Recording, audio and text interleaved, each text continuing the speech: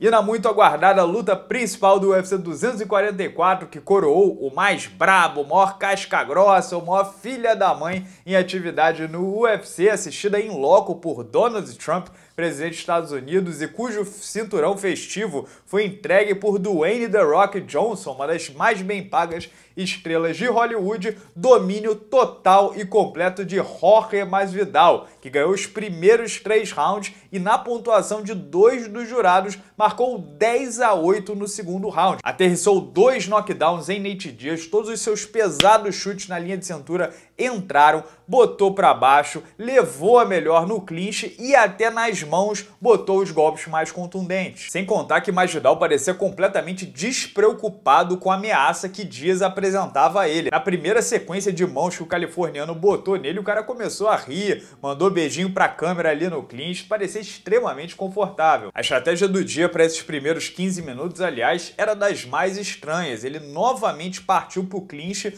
como fez na luta anterior contra o Anthony Pettis, mas lá se justificava muito porque ele queria tirar a distância, o alcance dos chutes do Showtime. Mas o Masvidal não é exatamente um kicker, e o que a gente viu no clinch desde o primeiro round é que o Masvidal mais forte guiava as ações, e o Diaz insistiu exatamente nessa estratégia. Foi daí que veio o primeiro knockdown, de uma cotovelada ali na curta distância que pegou do lado do rosto, o Diaz ficou bambo, desceu para entrar na perna perna do Masvidal e levou uma pesada, não foi canelada, foi com o peito do pé e o arriou completamente. Depois de ter assistido a luta como um todo, eu fiquei com a impressão que a estratégia do Dias era buscar o clinch para trocar força ali, né? Isometria, cansar os braços do Masvidal e levar a luta para o fundo do mar e tentar afogar o adversário lá pro quarto, pro quinto round. Ou simplesmente entrou para apanhar, aguentar a surra até o Masvidal cansar de bater, tentar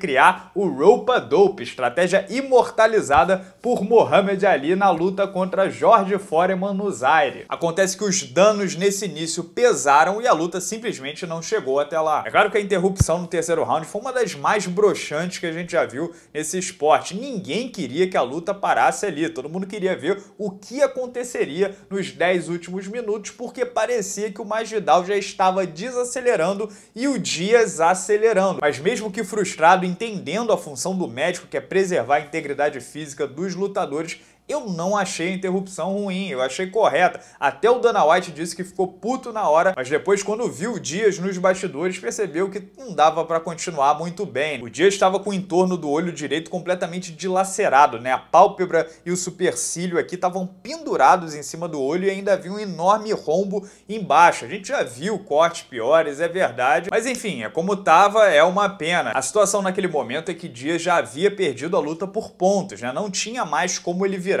nos dois últimos rounds se fosse para a decisão dos jurados, que é o Masvidal estava quatro pontos na sua frente para dois dos jurados. Mas como eu disse, o Dias não estava morto. Em relação a gás, a impressão que dava é que ele estava mais inteiro que o Masvidal, que já começava a respirar pela boca e a puxar o ar. Acho que ele nocautearia ou finalizaria o Masvidal nos últimos 10 minutos? Não, acho que o Masvidal aguentaria até o fim, talvez perdesse um ou até dois rounds e levaria para os pontos. Lembrando que o Masvidal só foi nocauteado uma vez em quase 50 lutas profissionais e não é finalizado há mais de 10 anos. Por mais que o dia estivesse melhorando um pouco, não havia nenhuma evidência que ele chegaria a um desfecho. Mas o que aconteceria, a gente nunca vai saber. E pode ser que o Masvidal também vencesse os dois últimos rounds ou até nocauteasse o Nate Diaz, que já estava com a visão do olho direito por muito sangue problematizada. Mas a verdade no e é que a luta só foi parada porque o Masvidal infligiu muito dano, ele causou isso, venceu por domínio.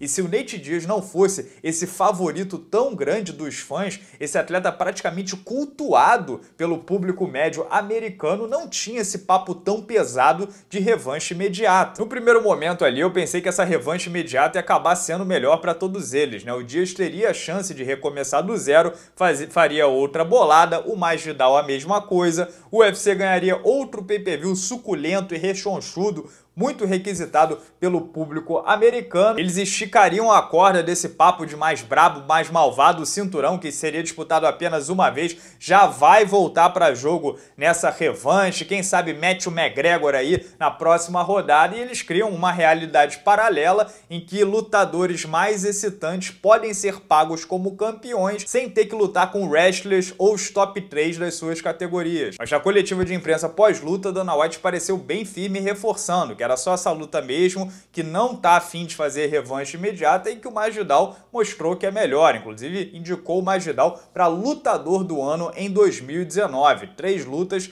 três vitórias por nocaute ou nocaute técnico. Mas sabe-se lá, né? Quando todos os números desse evento chegarem, o cara de repente se emociona e volta atrás, como tantas vezes a gente já viu acontecendo. Agora, se Dana White resolver mesmo seguir em frente, talvez o Nate Diaz não lute mais, né? A gente sabe como é difícil ele topar certas lutas e com essa derrota, não sei em que situação ele fica na categoria. Talvez só reste para ele, do jeito que ele pensa, escolhe seus adversários, a trilogia com Conor McGregor, caso o McGregor vença a sua próxima luta. Já o Roger Masvidal, obviamente, tá com o tarot shot na mão da categoria até 77 quilos e apenas esperaria o vencedor de Kamaru Usman versus o seu ex-amigo, atual inimigo Kobe Covington, que lutam no último PPV do ano no UFC 245. Mas como sempre, pessoal, esses são apenas os meus dois centavos, o meu ponto de vista. O que vocês acharam sobre essa luta? Comentem livremente aqui embaixo no vídeo, se inscrevam no canal para não perder nenhuma resenha. Também falei da derrota por nocaute do Johnny Walker.